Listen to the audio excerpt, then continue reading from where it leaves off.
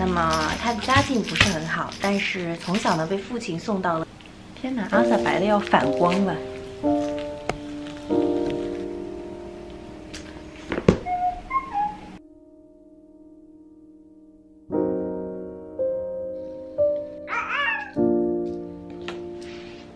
嗨，我是桃江，今天呢会跟大家介绍三本书，嗯，是我七月份读的。第一本就是这本《包法利夫人》。看过我之前视频的人应该有印象，就是有一次阿萨把我的书给撕坏了，就是这一次。这本《包法利夫人》讲的是什么呢？讲的是红杏出墙的故事。小说的女主人公叫艾玛，是一个外省的农村女孩。这边的外省指的是非巴黎地区啦，她的家境是非常平庸的，但是她的父亲在很小的时候就把她送到了修道院里面，让她享受贵族般的教育和生活。那么这一段时间的教育和生活，让她对于浪漫有一种天真并且虚妄的幻想，她非常渴求极端的浪漫主义，甚至啊希望能够像巴黎的上层社会一样去生活。等她长大一点，她就嫁给了一个农村医生包法利先生做续弦。婚后的生活是庸庸碌碌的，甚至他新婚的第一天，等他坐着马车到了包法利先生家里面，他看到他先生的书桌上还留着一束捧花。这束捧花呢，是包法利先生上一任夫人的结婚时候的那种结婚捧花。看到这段的时候，我就觉得天哪，福楼拜太会写了，就是这么一个致命的细节啊！说这束新娘的捧花，我觉得你需要一个东西去堵嘴，好吗？就是这么一个非常致命的细节，讲什么呢？说这个新娘的捧花啊，是一束用白色缎带系住的橙花。那么先生发现他的新婚妻子艾玛并不是很高兴，于是就把这一束捧花送到了楼上的阁楼里，随手就这么尘封了起来。我看到这一段的时候就会起鸡皮疙瘩。如果我是这个新娘的话，我肯定会想：天呐，等我如果哪一天。去世了，那会不会我在这个世界上留下了什么呢？是不是也就是这么一束捧花，然后可以随处安置呢？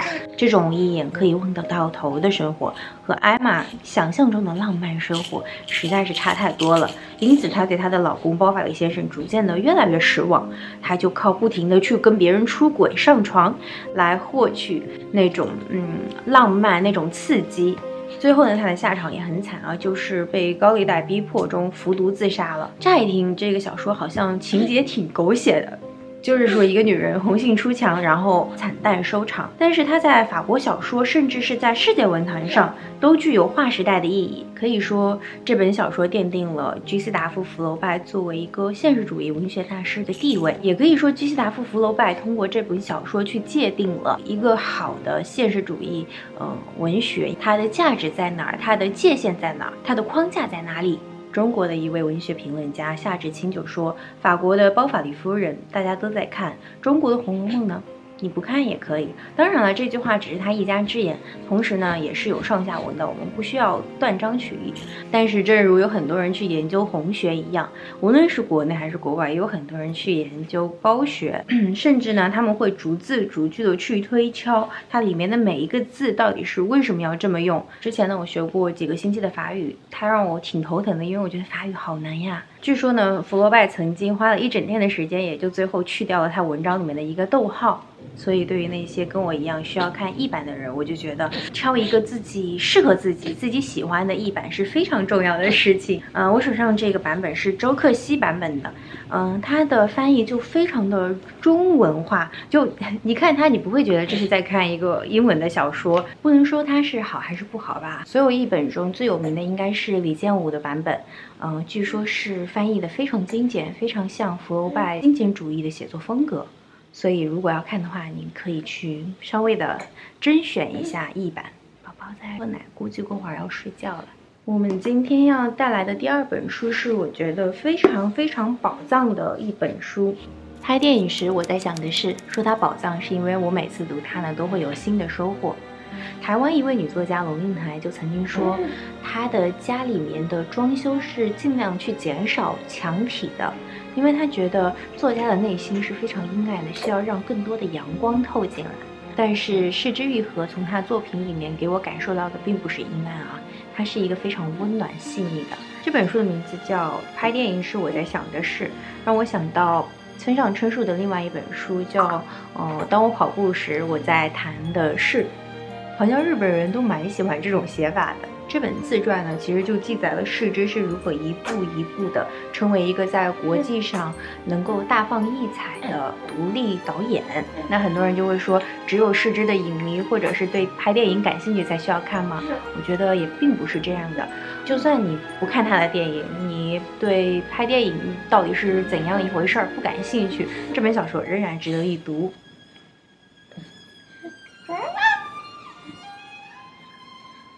我自己呢是石之愈合的大粉丝，他的第一部电影应该是《幻之光》，然后到他最新最近的那一次电影应该是《小偷家族》，一共拍了大概二十多年的电影。嗯，这本自传里面就写到，一开始的时候会为一些经费呀、预算啊之类的头疼，会被自己的分镜脚本去束手束脚，甚至啊他还非常的血气方刚，因为看不惯当时电视台里面，他一开始在电视台工作。看不惯电视台里面管理层对于下层那种拳打脚脚踢呀，或者是谩骂呀、指责呀，他气到嗯就不去上班，就待在家里面。你就会发现，这就是他普通人的一面，在这本书里面就是展现出来了。同样的，他还有一个非常嗯思考的内敛的那一面。他在书里面谈论到他为什么要做一个导演。稍微看过他电影的人就会知道，世之的很多电影其实都是跟社会相关的。他会揭露一个社会问题，比如说重组家庭呀，比如说亲人的离去呀，比如说呃里面的人物涉及到小偷啊、妓女呀这样各种各样社会上的边缘人物。我们就说以他的一部电影吧，叫做《无人知晓》，是当时一个西朝鸭弃婴事件引起的。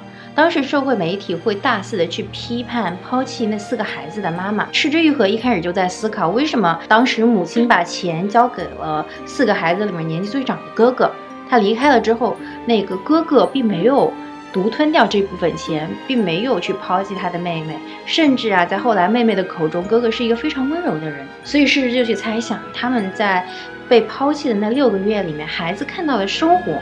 他们的生活有和物质富足不同的某种丰富性。石之愈合说了，我们要做的并不是站在公寓之外去讲述啊地狱里面有多残酷，而是去想一想，在那个被切断电源的房子里面，孩子是如何去体会这份丰富性，又如何最后失去了这份丰富性。所以你在世之的电影里面是看不到他对社会上这些问题居高临下的判断，你看不到他指导观众说。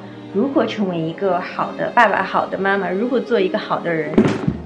而是他在承认，社会上很多事情并不是非黑即白的，任何事件、任何人物都是有灰度的。更重要的是，你会发现，就算是很糟糕的生活里面，其实也有不错的地方。所以，如何去解读这样的生活呢？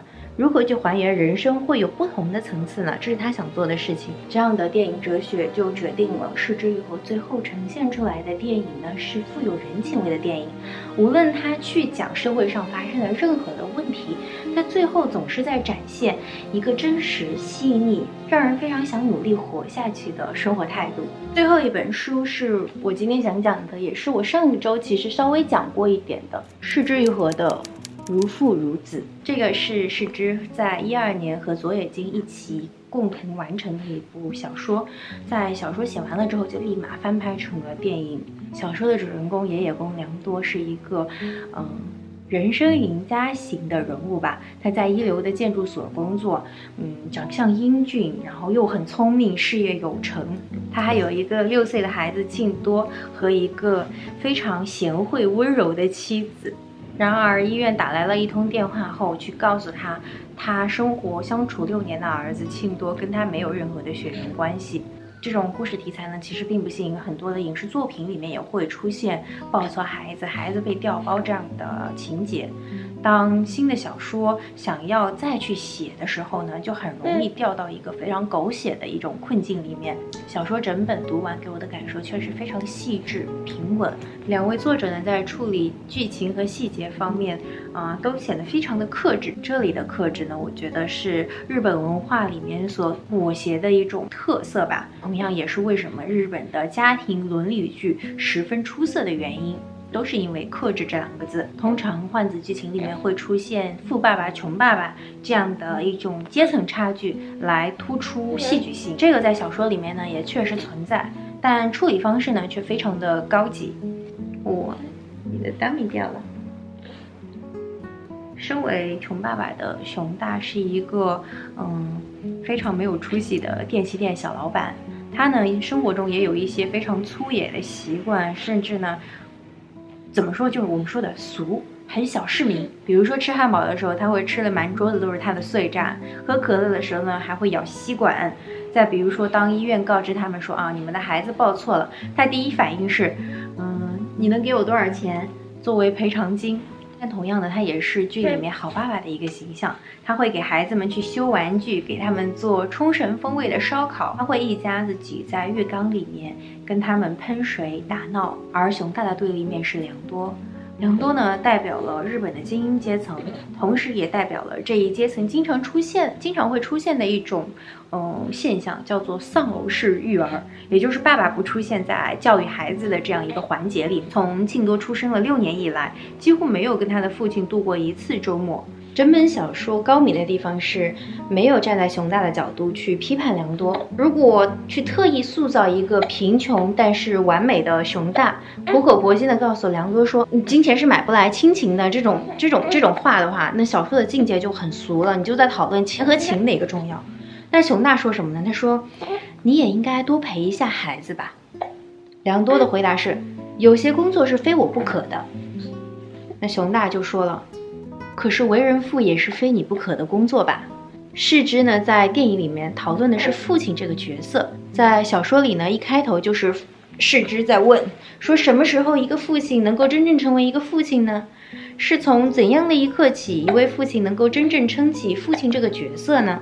这个问题呢，也算是老生常谈，在伦理学哲学里面也会去讨论，孩子和父母之间的纽带是什么呢？是 DNA 吗？还是最后真正的？陪伴呢？小说里面的良多，也就是这个富爸爸，他就是非常注重血缘的。在得知庆多和他没有血缘关系的时候，他第一个反应是，果然是这样，因为他发现庆多并不优秀，并不努力，也没有争强好胜，不像他父亲。所以，他身为父亲，多年都在否认庆多这个儿子的身份。在小说的结尾，良多也发现了，其实真正的支撑起父亲这个角色的是陪伴。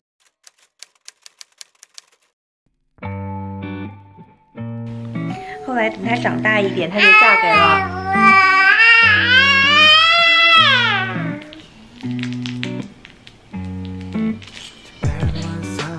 他的细节想的太美，他的细节太太细，就就留在这个世界上的大概也就是这么一束捧花吧。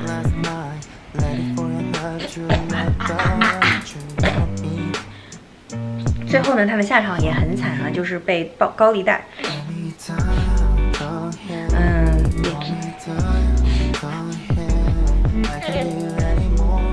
嗯，这本自传里面就写到，一开始的时候，他其实是为会为经费呀，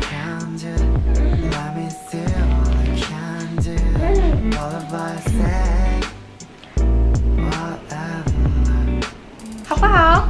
玩头发，玩你的小龙好不好？biu biu biu biu